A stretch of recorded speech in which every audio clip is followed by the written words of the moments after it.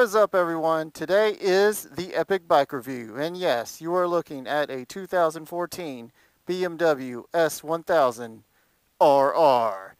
For everyone that guessed uh, what the bike was going to be, thanks. I know Moto Vlogo, he guessed it was going to be pretty much everything in the world except this. Uh, but one uh, user, I believe it's uh, Stephen Roach, he guessed it was going to be a BMW. Uh, good guess. I think he said the uh, single R. It's actually the double R, but good guess. Um, but again, I got this about a month ago, had to finalize paperwork and such. Uh, but this is the bike. It's uh, black. I'm sure, I hope you enjoyed the intro. Pretty fitting for this bike. Uh, I still have the uh, CBR 1000 RR. Uh, don't know what I'm going to do with it. I might sell it, might keep it, like I mentioned earlier, uh, motovlog. But yes, this is the bike. Uh, hiding the Hawaii tag, of course. And uh, as you can see, I'll go into some features for it that I have. I've added some things. I've had it, like I said, again, a couple weeks. Um, the big thing is I added the CRG uh, RC2 levers, shorty levers, black. I think they look amazing. Weren't too hard to install, but Took about an hour or so uh, once we figured it out. But uh, they're better than the uh, silver stock uh, levers that come with the bike.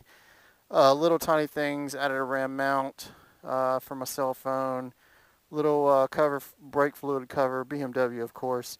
Added the zero gravity double bubble um, dark smoke windshield. it's got frame sliders, came with it, already installed when I bought it. I've also added the stomp grip uh, tank pads for the top and the side here, side Here's fairing. the big one. We did a cat delete, so got rid of the, uh, I, I joke not, a 20 pound, 20, 25 pound muffler that comes stock with this BMW and the cat converter.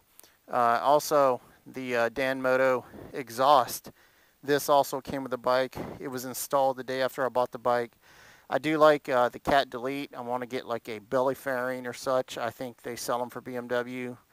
Um, Danmoto exhaust, like I said, it's about a $120 exhaust or so. It's better than the stock can. It's carbon fiber.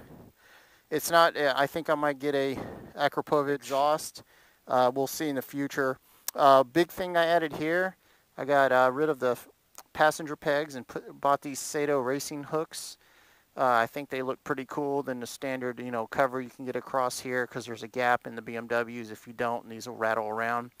But anyway, it also serves dual purpose because now it's a tie-down hook for both sides. So if you want to put it in the back of a truck or take it to race day, etc. And it looks pretty badass. Got it from Revzilla. Um, what else we got? Fender Eliminator kit. I installed this. It wasn't too hard. Uh, the tricky part was getting the uh, turn signals here installed because it's all mounted together. Um, stock tail This light. is the uh, Chinese version of the rear cowl. Only paid like 26 bucks. Um, the real one, I believe, is four or five hundred dollars. Um, it wasn't too hard. I had to switch the lock uh, from the stock seat to this. There's a little bit of a gap, if you can see. However, what I'm going to do is I'm going to buy some foam or some sealant, uh, maybe some black rubber caulk, and it should seal it right up and fit in that gap. Probably won't look too bad either. If not, if it looks like crap, then I'll just go back to the regular so seat. On this side, uh, pretty much the same. Uh, nothing changed really much. Uh, as you can see, that cat delete does look good. I don't know if I like the pipe showing. Got a little rider clip there for the, the shoe so it doesn't get dirty. Gives you a little bit more grip. Uh, might get some more rear sets. Um, looking at such, just down the road purchases.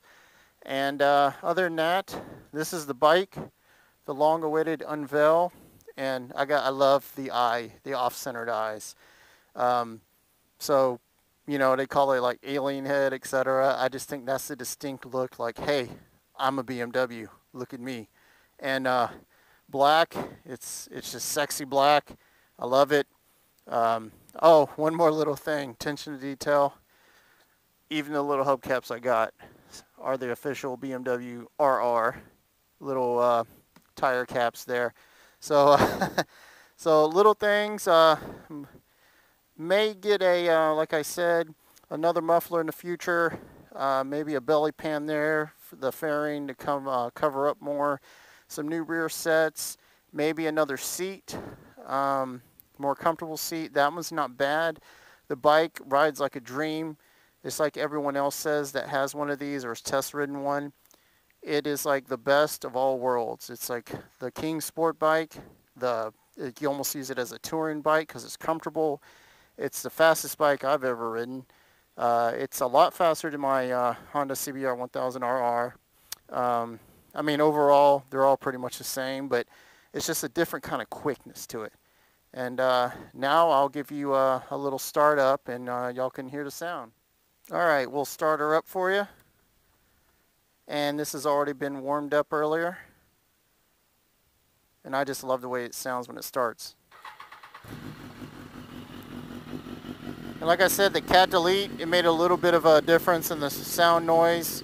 Like I said, the, you know, the cat's not there anymore. Danmoto exhaust, not bad for what it is. Um, like I said, I'm probably still looking at other exhausts, but for now it looks good, way better than the stock can. So we'll get some sound going. And I'll rev it to about 4,000 and maybe a little higher.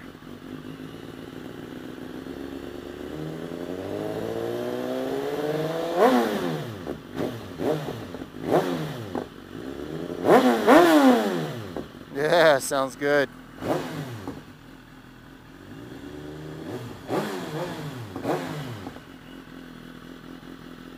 So yeah, that's it. Um, that's the engine sound. It rides like a dream. It's smooth, it's comfortable, it's awesome, and uh, I highly recommend it. There will be lots of uh, moto vlogs with this bike to come, so stay tuned. Please uh, like and subscribe, share this video, show everyone the awesome power, beauty, and looks of the 2014 BMW S1000 RR. And that's all I got. I'll talk to y'all later. Take care.